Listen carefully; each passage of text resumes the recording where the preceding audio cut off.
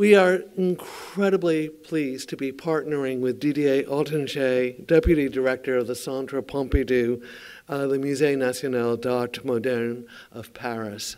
There's always been a long and warm connection between the Pompidou and Houston, in particular because of Dominique de Menil's sponsorship of the Pompidou at its most critical early stages and from the many exchanges we've done with the museum over the years. When Gary Tinterow, our director, told me that we had the possibility of bringing Late Bacon here, I was thrilled to the core. He's one of the artists I first discovered before he was Late Bacon, and I was still a kid. Um, and I had been absolutely shattered by my first encounter with Bacon's work in the 1960s. And it was such a privilege to bring this thoughtfully assembled presentation focusing on the late works to Houston. Didier Ottinger has taken a very specific view of the work in his presentation and writings about the artist, in particular in regard to how Bacon had responded to the, not only the literature of his time, the writers closest to him, like T.S. Eliot, but also delving deep into antiquity and the tragedies and dramas of Aeschylus. Before the Bacon Project, he did a number of fantastic exhibitions. I'm only going to name a handful the Futurism in Paris, an avant garde that was seen in 2008, an in depth presentation of Edward Hopper uh, Shadow and Light and the Myth American um, uh, from 2012. Many of you probably saw or heard about the wildly popular Magritte, The Treason of Images scene in 2016, and most recently, a major retrospective devoted to the art of David Hockney. Outside of Paris, Didier has co curated Identity and Alterity, Figures of the Body, nine, uh, 1885 to 1995, that was seen at the Venice Biennale in 1995.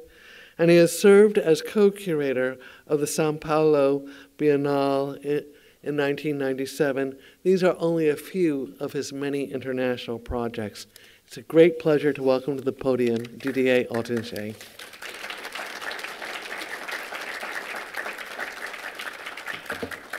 Thank you, Alison. Uh, it's indeed a, a, real pleasure to be here in Houston. As uh, Alison mentioned, there is a very long history and relation, very precious relation between Houston and the Centre Pompidou, thanks to Madame de Menil in particular.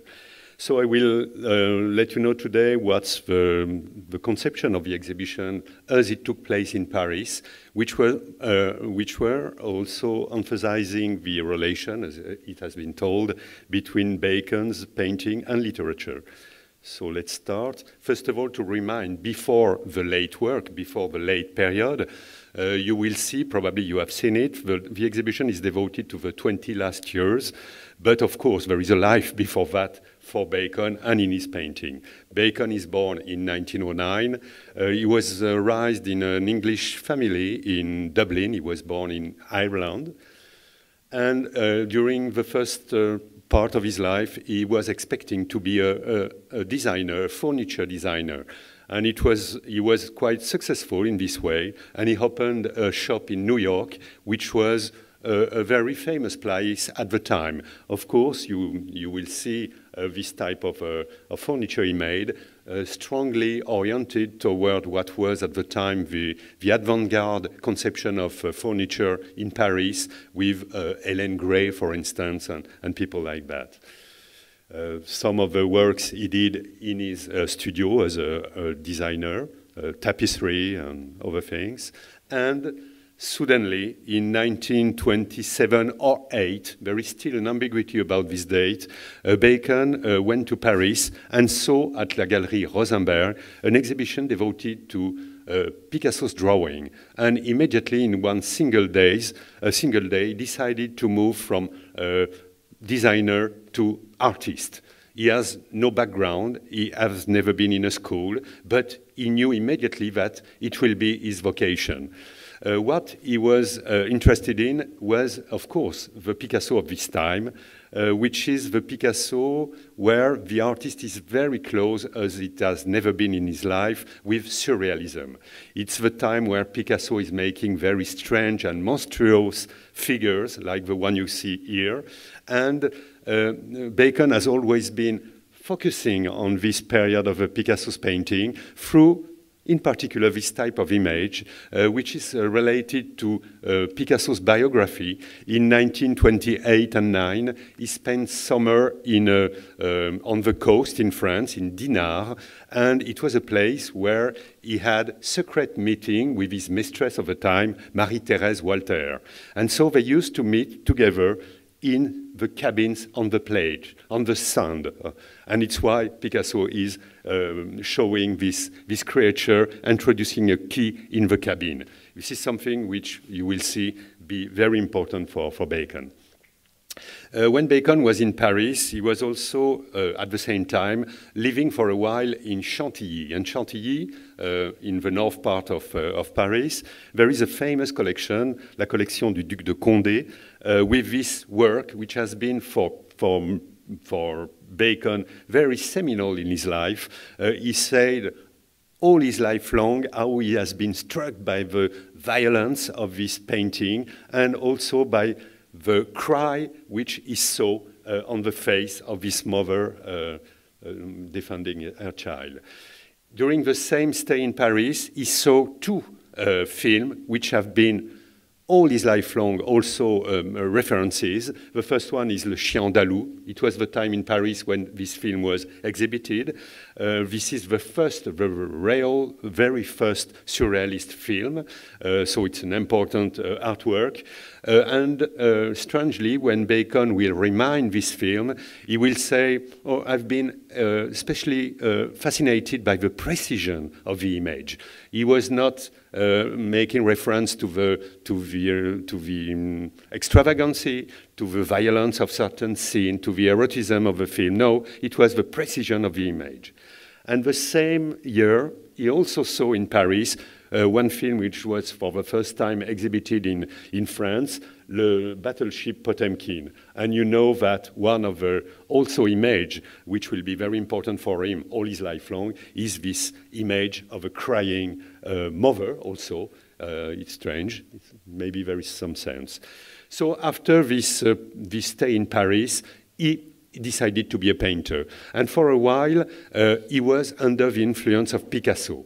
Uh, many of the scholars studying uh, Bacon's work considered that there is a Picasso period in his work. But no work is still surviving of this period, which was from, let's say, uh, 29 to uh, oh, at least the 40s. So there is many, many painting which has been destroyed by, by Bacon himself.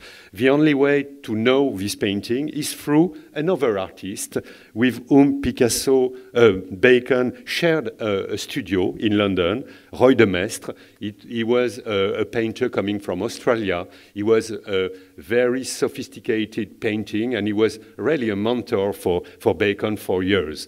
And he painted some images of his own studio, and in the studio we can see some painting by Bacon, which have been destroyed after that. But you can see the similarity with uh, surrealist, uh, strange figures of uh, Picasso at the time.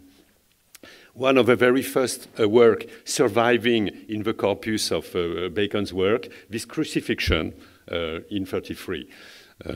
and then, suddenly, 44. Uh, it's during the Second World War, uh, still in a, in a London which was under the pressure of a bombardment every day, every night. Uh, Bacon worked on this work uh, three figures at the foot of a crucifixion.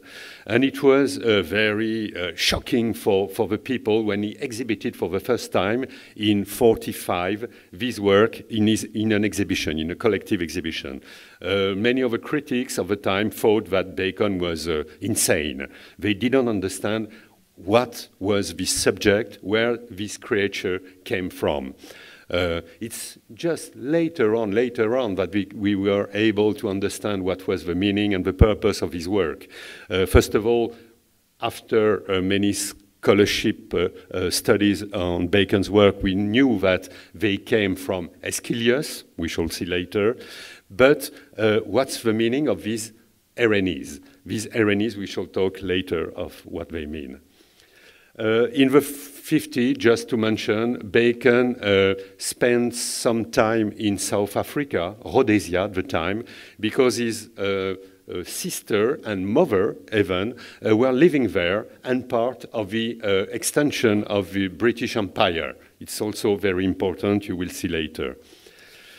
Uh, one of the uh, very important moments, of, of course, is the period when he worked after uh, Velázquez. He was struck by the uh, portrait of Innocent X, this one, by Velázquez. He considered as the most beautiful painting in the world, uh, image of power, but we could say, also say image of a father, a papa, and it's something probably very important.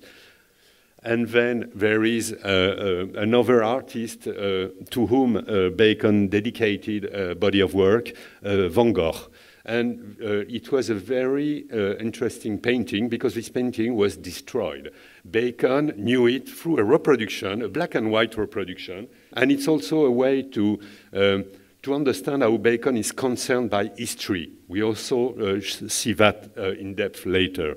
Uh, this painting was destroyed, and it's not something uh, uh, uninteresting for Bacon. It was destroyed during the bombing of Dresden in Germany in 45.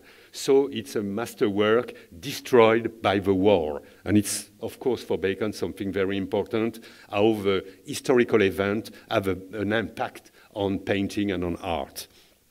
And now we are, after this uh, uh, introduction, coming to the, the heart of the, of the purpose of the exhibition, the painting made by Bacon just before or after this very important uh, moment for him, which was his retrospective organized by the national French state. It was a, an official celebration in this majestic monument, Le Grand Palais in Paris. Uh, it was very important at that time for any painter. Uh, a couple of years later, this same space had been devoted by the French state to a celebration of 85th birthday of Picasso. So it was the place. And Bacon was conscious, and for this exhibition, he decided to work intensively and paint four triptychs in the year just preceding this exhibition. It was very important for him, of course and you can see Bacon at that time. And for this exhibition, uh, Bacon decided he wanted this exhibition to be as complete as possible.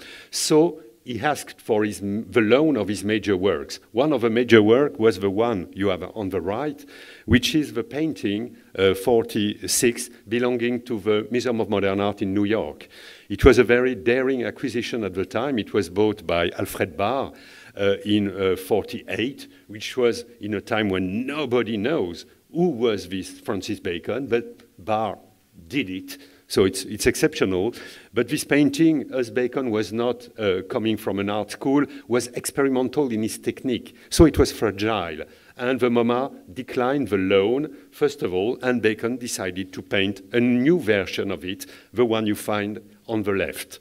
And you can see through the comparison between these two images, what did happen around this year, this crucial year of 71.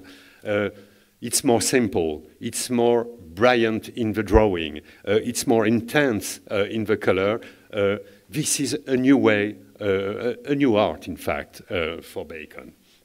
Now, what is interesting also is that finally, after negotiation, the MoMA decided to lend this painting, and Bacon said, okay, and hung the two paintings close one to another, which is also the demonstration that he feel enough confident in his, in his skill and his technique at that time to prove to the viewer that he was better now than he was before, in a way. He made also another interpretation of a work which was not, which was not learned uh, to the exhibition, which is the Red Pope, and he made this new version on, on, the, on the left. It's quite important because for someone uh, like him, making an interpretation of his work is a real demonstration of his ability and of the progress he made. This painting of 44 later on, he made also a, um, a replica, which is this one, doubled in scale in a completely different style. And from one to another, you also can uh, see what is the evolution of his style. It's more simple. The, there is almost no matter on the, on the canvas. It's uh, uh, immaculate in a way. We shall, we shall come back on this term. And uh, the uh, 71 exhibition is also a crucial moment in his life because uh, a couple of days before the opening, the guy with whom he came to Paris, his companion George Dyer, commits suicide. He was a very fragile guy. Uh, Bacon saved, it, saved him one time, a month uh, earlier, but this time he was out in Paris. And when he came back to the hotel, he shared with him, uh, George Dyer was dead. Uh, and of course, it was a very important uh, moment, sentimental and of course psychological uh, moment for, for Bacon to, to face this, uh, this death. Uh, what this, uh, for, for remembering George Dyer and the events which took place in Paris at that time, he painted three triptychs. one um, English cri critic, Hughes Davies, in 75 in uh, an American magazine, Artforum, called them the Black Triptych, uh, which was probably in his mind a kind of reference of another black painting, which was the, which are the, the Goya's painting, of course. Uh, it means that these paintings are uh, very uh, uh, dramatic, and the first of them, the first of the three, is this one, probably the more realistic, with a description in the central panel of this hotel, Rue des Saints-Pères, where the tragedy took place.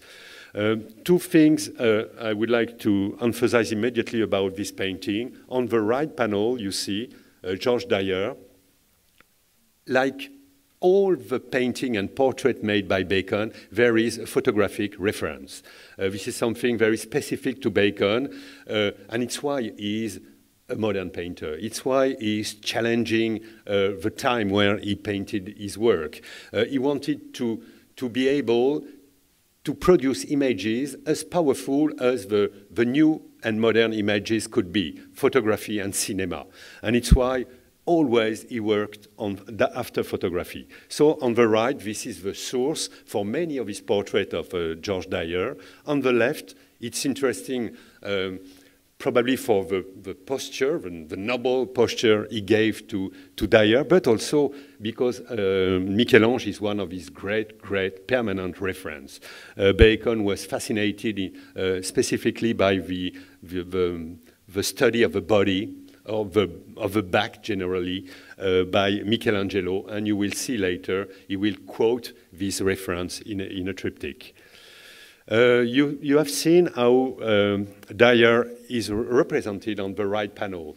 And it will be something uh, which will be used by uh, Bacon quite regularly when he will uh, portrait, give portrait of, uh, of George Dyer. You can see him through the reflection of his, of his uh, face in a mirror or in a kind of mirror.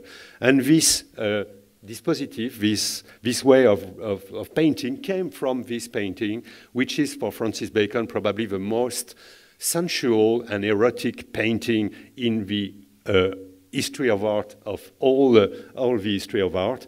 This is La Toilette de Vénus, which is part of, a, of course, National Gallery in London, a work and a museum that uh, Bacon knew perfectly. And this image is, is this image is associated to Bacon with the idea of the representation of desire, of erotism. So when it's Dyer who is the subject, he is shown like that with a face in the mirror.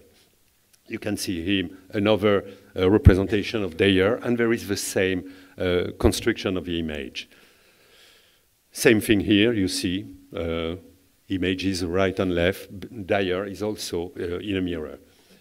About the, the influence of Picasso, I told you there is this uh, personal story of Picasso being at the beach, uh, meeting his, uh, his lover, uh, and there is many uh, quotation of this image in Bacon's work with people turning keys like that, or this later one, which is in the exhibition you, you will see here. The second triptych painted by, by Bacon, I told you there is three uh, black triptych. The second one is, is this one.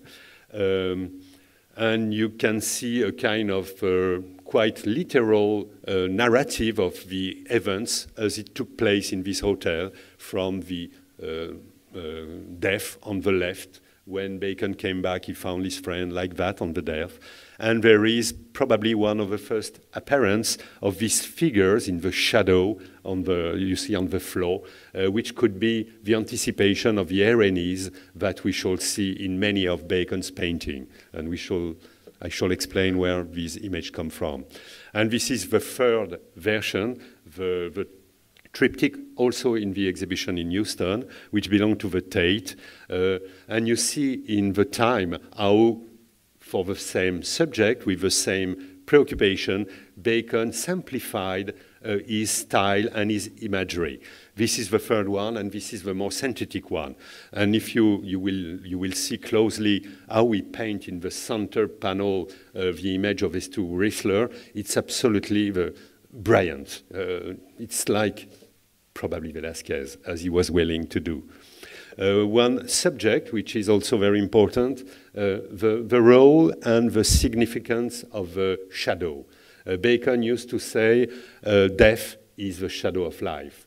And if you, if you want to paint life, you have to consider death, so shadow. And you see many of the uh, people painted by Bacon who are in between two words, between light and between shadows. And of course, shadows on the left panel is in a way hitting the figure of Dyer. So we come to the, the exhibition as it was in, uh, in Paris. Um, the idea in Paris was to confront Bacon's painting with his library, with some books of his library. Uh, this is a library which is very well known. It, uh, the inventory has been done very closely, precisely, by uh, uh a museum in, uh, in Dublin, the birthplace of, uh, of Bacon, uh, Trinity College. And so we know perfectly that there is almost 1,000 books. I've been there to see these books, and what struck me, and probably the idea of the exhibition came from that, these books were all very used. All of them were covered, maculate with painting. When you open this book, you can see that there is some quotation. Bacon underline. Sometimes he made some small drawing in the margin and so on. So it means that these books are more than uh, books to decorate a library. This is really books he used every day in the studio in a way. So the purpose was how to identify in this wide corpus uh, an amount of books which could make sense. So I, I selected six of them, you will see, uh, which was part of his library. And the, the reason why I, I, did so is that these books, when you will consider each of them as a group after that, you will see that there is a strong uh, intellectual affinities between these authors. Uh, there is, in a way, the same kind of vision of the world, uh, I, I, shall explain. Uh, and it's really, this sixth book made a, a kind of uh, spiritual family uh, which explain what are the real goal and um, the deep meaning of Bacon's work, I think. So the first of them is Aeschylus. Uh, Aeschylus, uh, the encounter with Bacon, if we can say, uh, took place in 1939, uh, and uh, Bacon at that time in London saw several times, six times, it was mentioned by certain of the biographer, um, uh, um, a play by T.S. Eliot, Family Reunion. So it was the first encounter. And Bacon was fascinated by the story. The story um, of the uh, Eliot piece was the uh, transposition of the Oresteia in the Great Britain of the modern time. And you know the story is a story of death, it's a story of killing, it's a story of a family which uh, each member is killing another. It's, it's absolutely uh, uh, cruel and, and violent. In 42, Bacon was so interested by this uh, uh, history by uh, Aeschylus that he read intensively this book, which was published, and it's a scholar from Ireland, who also uh, published this, this book, which was seminal for, Bacon, and uh, Stanford, who is the author, proposed some new translation of some of the, of the text of Aeschylus, and this translation uh, in uh, Bacon's mind for years, and he will quote them uh, later on. This is the, the play by, by Eliot. Uh, the story of, uh, of the Oresteia, very, very fast to, to, to explain. It's about uh, death in a, in a single family. First of all, uh, the story starts with the sacrifice of Iphigenie. Uh, you know, uh, the father of Iphigenie, Agamemnon, was the king of the Greek at the head of the, of the vessels from all the colony of, Greek, of Greece going to Troy. Uh, and to have a favorable wind, he decided to sacrifice his own daughter, Iphigenie. When he came back from the war, his wife, uh, Clytemnestra, was so angry that she was waiting him and provoked his assassination. After that, Oreste, the son of Agamemnon, decided to uh, kill his own mother. It's, it's an awful story. And he was, of course, after that, uh, tracked by this creature you see above the image, which are the Erinyes. Uh, they are in, in, the Roman world, they are called the Furii. Uh, later on, they are also called uh, les Eumenides, but it's the Erinyes. And, and they are uh, coming from the very archaic Greek world to uh, track the criminal who have uh, in a single family in the same blood in a way. And from 75 on, Bacon reminds uh, is this creature, these Eumenides, and they came in his painting and seems to be everywhere in his painting. Uh, when he was asked about these figures, what do they mean, uh, he used to say, they are the images of my guilt uh, he felt guilty after the death of George Dyer because, in fact, he knew that he was in a way responsible for his death, and he gave to this creature uh, the, the image of his guilt. So, uh, this is one triptych which is inspired directly by the Oresteia, and you see from the panel right and left these Erinyes, and in the center an image, a representation, which is usually uh, interpreted as an image of Agamemnon himself. And there is some Erinyes like that, you see even in this painting. Uh, for Bacon, uh, uh, Aeschylus, when, when he wanted to resume what's the meaning of and the impact of the uh, poetry and tragedy of uh, Aeschylus in his work, he said, it's blood. This is blood. And he painted blood like this one on a pavement, like this one, and this one, which is in the exhibition you can see here in Houston, there is blood on the walkway, which is the most important uh, um, image in this, in this composition. And of course, the, the sky himself became a kind of blood. The second author, logically, in a way, after Aeschylus, was uh, Nietzsche. Uh, when uh, later, later on, um, Michel Leiris, uh, we shall talk about him, uh, was asked about uh, Francis Bacon. He said, he's a Nietzschean. If you want to resume, what's this man? Bacon is close to Nietzsche philosophy.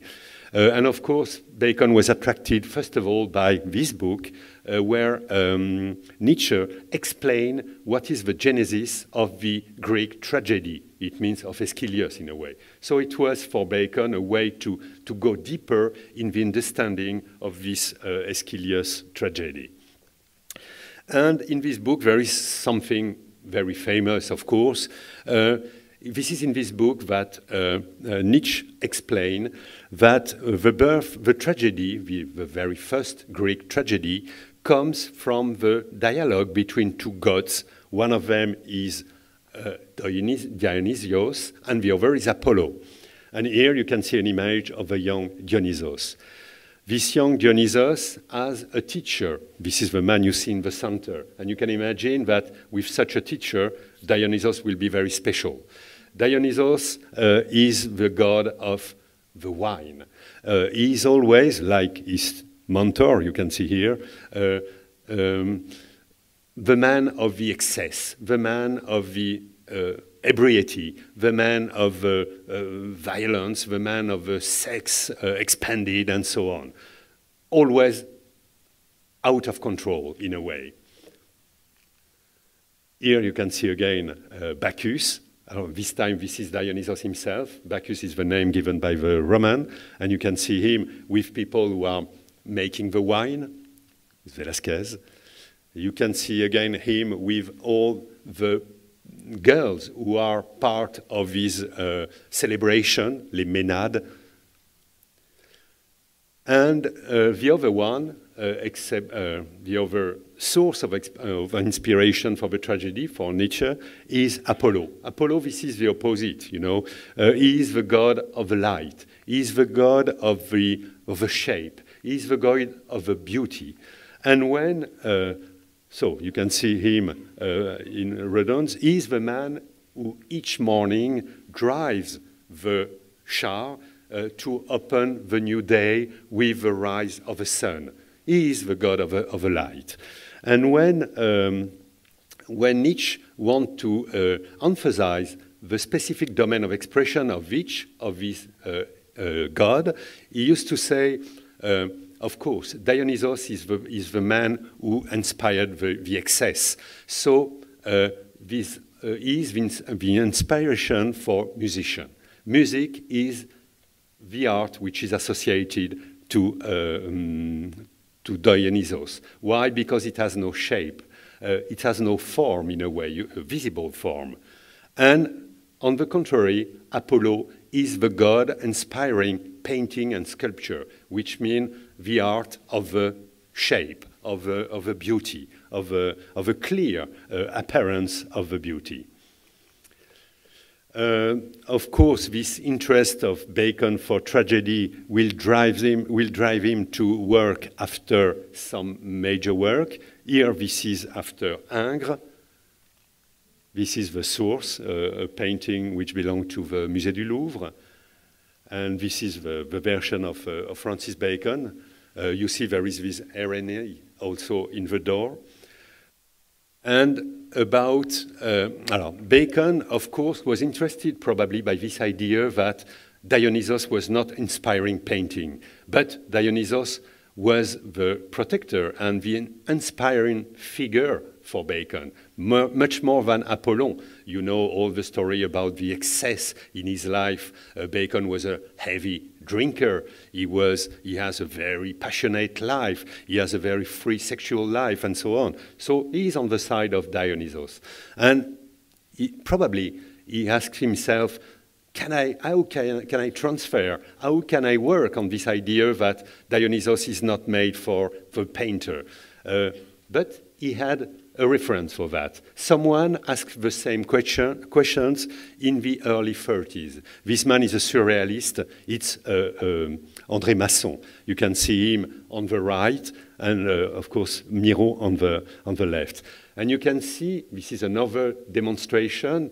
I have no time to explain that in depth, but you can see how Bacon seems to be happy uh, on the day of the opening of his exhibition in Paris uh, to be uh, in between these two men, because Bacon was, in fact, very attracted by surrealism. Uh, when he starts working and painting, he thought he was a surrealist. When he heard that in 36, André Breton organized in London an exhibition devoted to the international surrealist, he asked to the, uh, to the curator of this show in Great Britain uh, to come to his studio proposing his painting as surrealist. And they came back and said, no, it's not enough surrealist.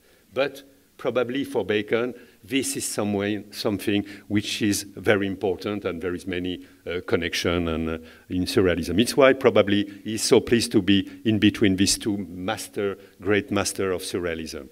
But uh, what I wanted to say is that Masson uh, was a very Dionysiac painter and in the 30s, in a very theoretical way, with his friend Georges Bataille, he tried to figure what could be a Dionysiac painter, painting. And Bacon, uh, Bataille gave to the name of his possible painting the term of informe. and he, he made a, very, a veritable uh, treatise about what could be this uh, informed painting. And for André Masson, of course, the flux, which is characteristic of uh, uh Dionysos inspiration, the one from the music and so on, is transferred uh, in, uh, in Masson's painting by his representation of metamorphosis, of course. This is typically the inspiration of Dionysos against the shape and definitive and close uh, shape of uh, uh, the Apollo inspiration, for instance. So there is many, many uh, painting in Masson's corpus devoted to metamorphosis. This is another one, 39. And Bacon, in his turn, probably tried to figure what could be this Dionysus painting, a painting without any shape, and it gave this type of uh, representation, a dune, uh, sand which has no, no shape, no form by, by definition, water or vapor, uh, gas, and there is many uh, representation of uh, this type in Bacon, and there is the most uh, informed and improbable, improbable shape in the world, water. Water has no shape. it's, it's it's the uh, representation itself of a flux, so it's by definition the Dionysus subject. And Bacon made in uh, 92, in 82 this representation of water uh, coming from a, a, a tap. It's also in the exhibition. It's very important for Bacon, this painting. In 1985, he was again interviewed by David Sylvester in his studio. This painting was in his studio, and he designed this painting. He, he said to Sylvester, This is the perfect painting, what I've always wanted to achieve as a painter. Uh, and, and, Sylvester asked why it's strange. Uh, Bacon answered, uh, because it's immaculate, first of all. This is typically uh, the immaculate painting he wanted to produce after uh, 71, for instance. Nothing comparable with what he made before. You see, it's, uh, it's clear, very, very precise, um, almost no matter on the painting in a way. And another uh, Dionysiac subject, jet of water. Another way to represent tragedy through uh, Aeschylus and, uh, and Nietzsche, it's this triptych. since many years, Bacon was interested by the project of being able to make a single image of the history of the modern Europe in 20th century. His studio was a veritable mess. It was filled with images coming from magazines, uh, every, thousands of images. He took two of them from this magma and made this triptych.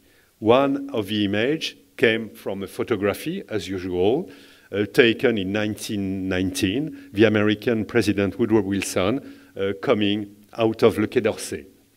Of course, this image is associated with a very specific meaning, the First World War. Le Traité de Versailles was just after the defeat of the German army in 18, and of course, the treaty was considered by the German as very rude and rough, and it was at the origin of the Second World War, probably. So it's war. And the second image is a detail from this one, which was a photography taken in the place where Leon Trotsky was killed in 1940. Trotsky, this is one of the founder of the URSS uh, revolution. He was a, one of the very first Bolshevik, so he's associated with the ideology, uh, which is also something uh, which uh, happened in the 20th century. So finally, this image uh, for Bacon of the, of the 20th century in Europe, it's war and ideology.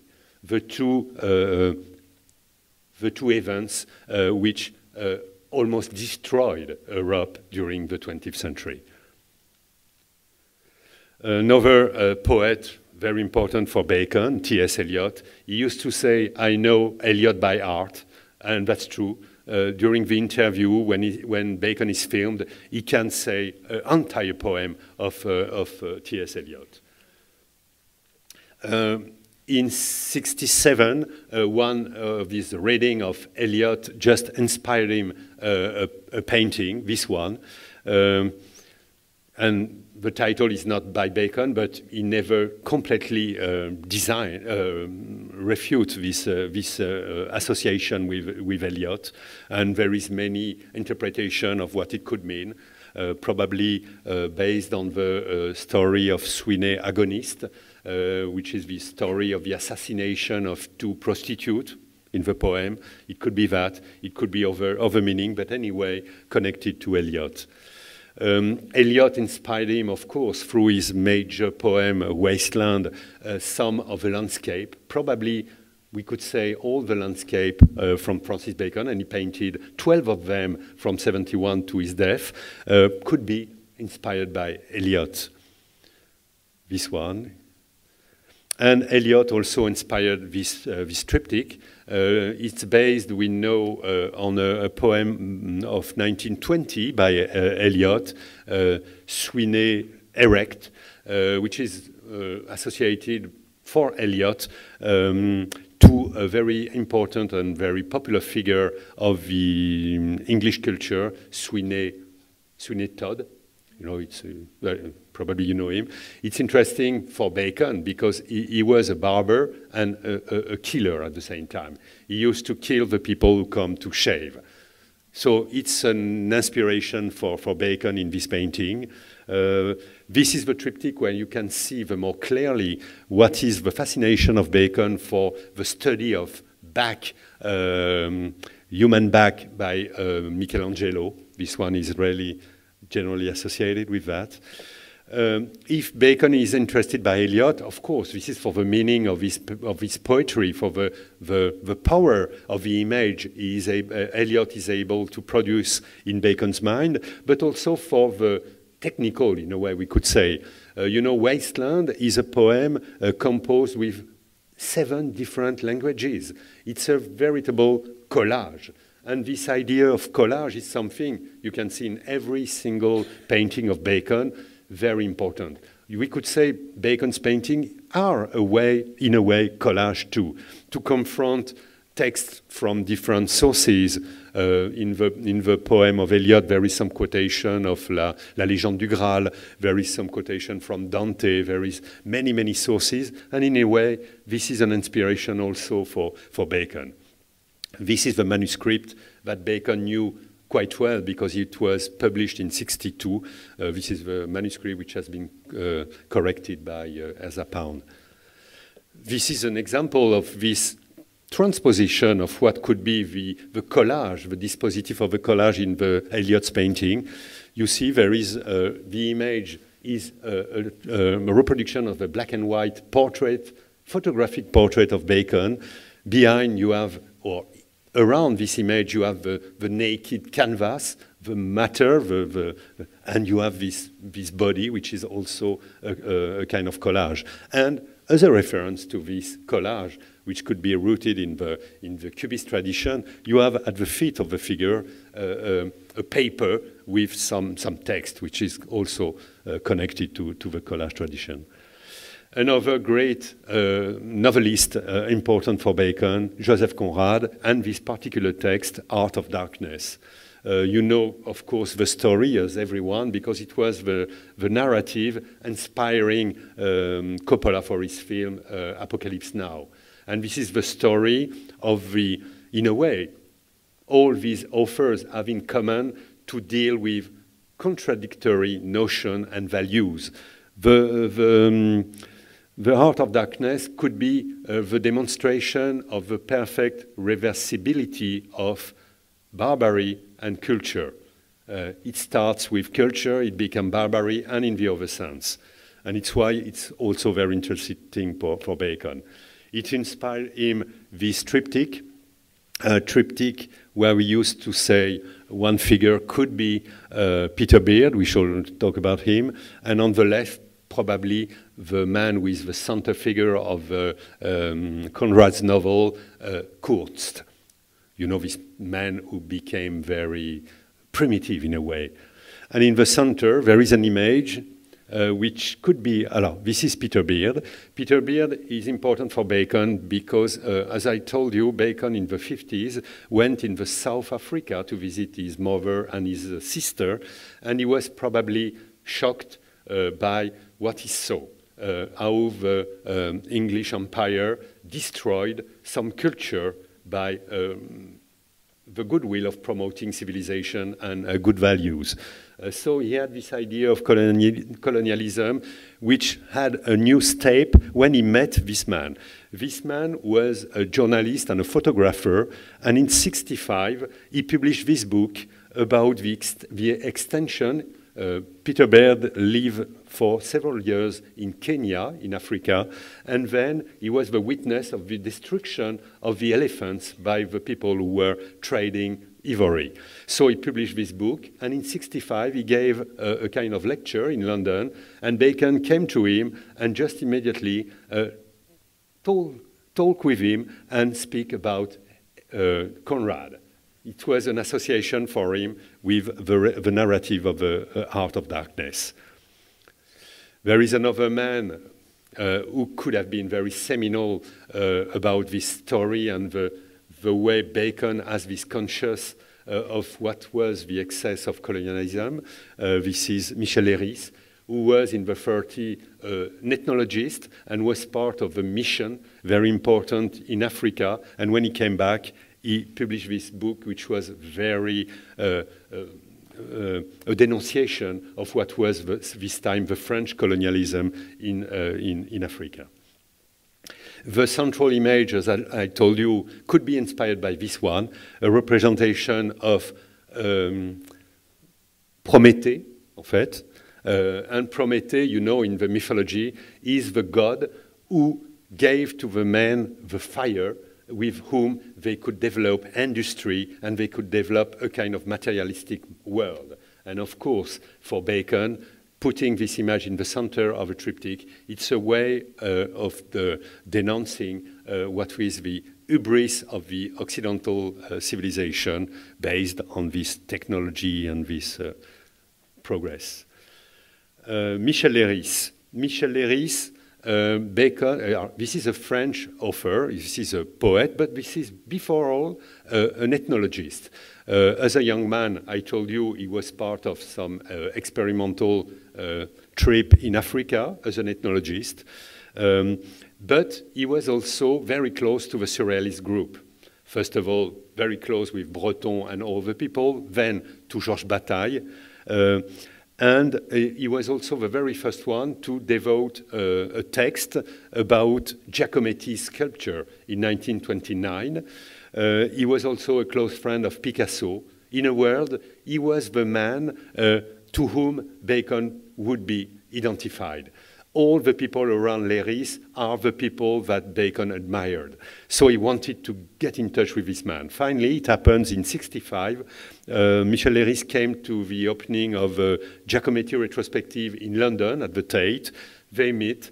And when uh, Leiris came back in Paris, he sent to Bacon this book, which was republished. This is a book initially from 38, but it was republished in 62, and this is the new version that uh, Leiris sent to Bacon. Here is Michel Leiris. And a couple of months later, we could see in Bacon's work the uh, first representation of corrida. Uh, because, of course, this is the core of the text of Michel Leiris. Uh, in this book, Michel Leiris developed uh, a parallel between the torero and the artist. He said this is the same thing. Uh, the writer of the painter is in the same position and he, he has the same uh, perspective. What is this perspective? It's to transform uh, the most violent, primitive energy, the one of a bull, in something which is perfectly uh, mathematically precise, the circle and other figures of the choreography of a corrida. And this is exactly what Bacon used to do in his painting. Deep in the more obscure and more violent, with crime, with sexuality, with all you can do, and promote that to produce a, a mathematical beauty in a way. This is this Miroir de la Tauromachie, the only book that Bacon decided to illustrate. He was against the idea of illustration, but for Michel Leiris, he made an exception and made in 90 this, uh, this book with six of his uh, images reproduced in it. The other one was Georges Bataille. Georges Bataille, uh, you know, it's also uh, someone who is close to the Surrealist movement and very well known at the end of the 20s by publishing a magazine, the Document magazine, which was a very powerful uh, magazine. Uh, most of the people who composed uh, this magazine were ethnologists. So it's why this book, this magazine is full of reference of sacrifice, of mythology, and all the studies which were uh, promoted by the ethnologists of the time. And Bacon discovered this magazine uh, in which you could find some article um, with illustration made by some of the most important uh, surrealist photographers, like Élie Lotar. And one of these articles was devoted to slaughterhouse. And Bacon was fascinated by these images and by this idea, and he gave some of the portrait he himself organized by Deakin, showing him with piece of, of, uh, of and this kind of image too, meat. Bacon and uh, Georges Bataille have a very uh, particular story too. In 62, uh, one of the late the, the last uh, book of uh, Georges Bataille, Les larmes d'Eros, uh, The Cry of Eros, à peu près, introduced a, reproduction of Bacon's painting. In 62, nobody knew who was Bacon, but Georges Bataille was the very first, in France in particular, to reproduce an image of Bacon, which was this one. This one, which was very controversial at the time of his exhibition. Uh, it's based as many of uh, Bacon's paintings, on some photography by Muybridge. There is a body of uh, study by Muybridge of Whistler. Bacon give them, of course, another meaning by put putting them on a bed, and this image, explicit, uh, provoked many uh, controversy in London around the mid-50s.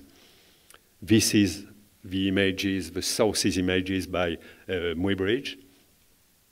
And another example of the impact of Muybridge is this triptych, which is in Houston, uh, where you can see uh, the lateral panel inspired by this uh, woman in a hammock, uh, like that. This is a, an image of a revue document. Another article which was very important for Bacon was the mouth, uh, mouth with photography by Boiffard, another important surrealist painter, and some of the very first uh, image of uh, crying figures could be related to this article published in Document and, uh, and by, Bataille. You know, the very, the very first uh, open mouth like that. And even the cry of the, of the Pope could be related to these images. Another article which was important in, uh, in this uh, document, a study which was devoted to this um, Apocalypse de Saint-Sever, an old document from the 9th century, and the winged uh, creature uh, could have been also a, source for uh, the very first uh, of 44, the painting we saw. Another image, very important, uh, Georges Bataille was Nietzschean, absolutely the more Nietzschean of all the French uh, literature men. Um, he was, of course, uh, fascinated by the figure of Dionysus. And in, uh, in 37, he asked to his best friend, um, André Masson, to make a drawing to resume and give in a single image the meaning of his philosophy. And Masson designed this figure, Acéphale. And the meaning of it was we have to promote a new conception of humanity uh, which could be uh, liberated from the reign of the mind, of the head. Uh, an humanity which could be more concerned by instinct world, by sexuality, by pulsion, and so on. And it's why uh, Masson painted that, uh, drew this, this image. And as an answer, Bacon never said that, but it's very striking to see that in 81, 82, he painted this figure without head, with probably exactly the same meaning. Said, yes, my, my, my ideal uh, representation of humanity is this one. an image of uh, what was Bacon's studio. You can see what a mess it was. If you are interested, it has been transferred with archaeologists to Dublin, and if you go to Dublin in Ireland, you will see precisely this, uh, this studio. And this one was clean because uh, before that it was even worse. Just a few words about uh, um, something which appeared to me during the exhibition. Uh, Bacon, at several moments in his life, when he's interviewed, uh, said, hmm, there is a, the most important painter of 20th century is Marcel Duchamp. It's very unexpected, and people didn't care because it seems so extravagant to say that. Uh, but we know that in 69, Bacon bought the Catalogue Raisonné, which was published that same year by Arturo Schwarz in Milano. And uh, we know that Bacon had this book in his studio, uh, as usual, manipulating it, uh, taking some image of the book, making some drawing over it, and it was a very important source. What could be the connection between uh, Bacon and, and, Marcel Duchamp? It's, it's not obvious, but both of them are fascinated by the chronophotography. For uh, Bacon, as you have seen, this is Muybridge. For uh, Marcel Duchamp, this is Jules-Étienne Marey. Uh, this is the equivalent in the French uh, tradition at the end of the 19th century. And uh, why are they interested, both of them, by these images, then by cinema? Probably because they have the same interest by the possibility of representing not life as in a single and uh, frozen image, but with the development. Same idea we found with Masson about the mm, metamorphose. Uh, these images are, in a way, images of the life itself. Uh, not the single image, but the movement, the, the alteration of the, of the image through the passage of life. So they, they share the same interest. And uh, for Marcel Duchamp, it gave the very famous nude descending a staircase. You know perfectly this painting. It was the, the, the, scandalous painting of the Armory Show in New York in 1913, and it became one of the most famous paintings of the 20th century but it came from this chronophotography. Same source. Another uh, point they share together. Uh, Duchamp was very interested by representing, by painting flesh. Uh, so in 1912, he decided to go to Basel, then to Munich, and to see specifically the painting by Lucas Cranach. Lucas Cranach uh, was considered by Duchamp as the painter who painted the flesh uh, in the best way possible. It's really like skin, like you see the thunder, you see the color and everything. So he was fascinated, and coming back to Paris, he painted this bride in his mind using the same color, the same technique as uh. Uh, and of course, uh, this is something which is uh, flesh is fundamental if you uh, want to understand Bacon's painting. He's probably, uh, in the second half of the 20th century, the one who is at the highest level interested by representing uh, flesh because he has himself this incredible interest for, for this. Another uh, point of contact between the two, uh, gambling. Uh, both of them are incredible gamblers. Duchamp spent quite a long time in Monaco, in the south of France, going to the casino, and to earn some money, he imagined that he could sell some obligation like that. And Bacon, later on, spent many, many months. He had a studio. He spent almost uh, several years in Monaco also, where we know he spent incredible amount of money. He spent all his money. He was so poor that he has to to paint on the, on the back. This, this was the beginning of his use of the back of the canvas. He couldn't afford to buy new canvas, so he has to, to use the, the, the, the one he, he has used, but on the other side. And more than that, uh, when Bacon said Marcel Duchamp is the greatest painter of the 20th century, people used to say, but mm, how can you say that? And Bacon uh, said, because he is the man who was able to conceal uh, the highest and the more precise uh, representation of flesh in the most abstract way. And it's what, in fact, uh, Duchamp made with this part. The color is not good because here this is the reproduction by Hamilton.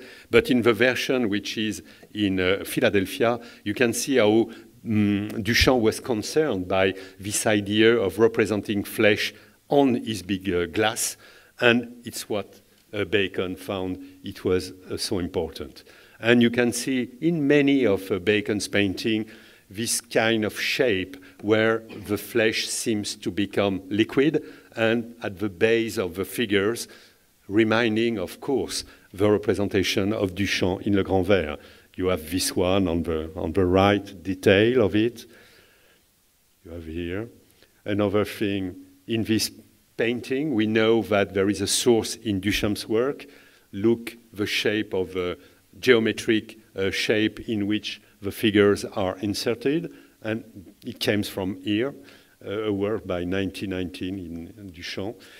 Uh, there is something also in the catalogue raisonné of Duchamp very funny. This is La Porte du 11 Rue Larrey. Uh, this is a door that Duchamp built himself in the studio he, where he was living, and this door was at the same time closing and opening.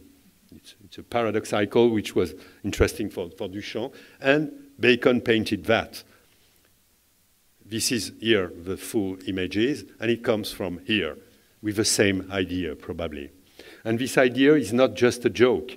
Uh, it's in fact a deeper connection and meaning for Duchamp and for Bacon. Uh, this is a way to express uh, a real vision of a world which is based on what was the very, very old philosophy at the time of the Greek tragedy by someone like uh, Heraclitus, for instance, uh, the idea that world is made of opposition playing one with another. Uh, it's, a, it's an agonistic vision of the world with contradictions always uh, playing uh, uh in front of us. Uh, and this idea, this philosophical idea, was expressed by the way Bacon, very often, we could say always, um, painted people, figures, who are on the, le seuil threshold. Threshold is very important.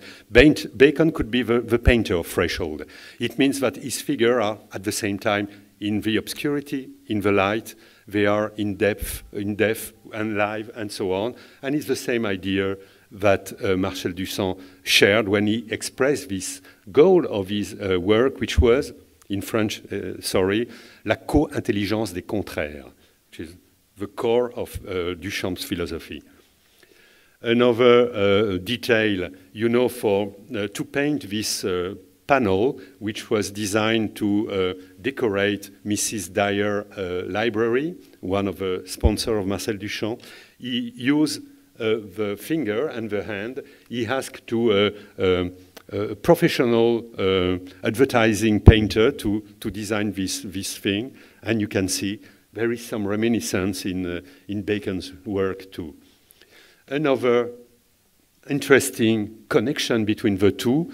Uh, you know this very famous uh, photo taken by uh, Man Ray of the Grand Verre as it was in progress and called Élevage de poussière, dust.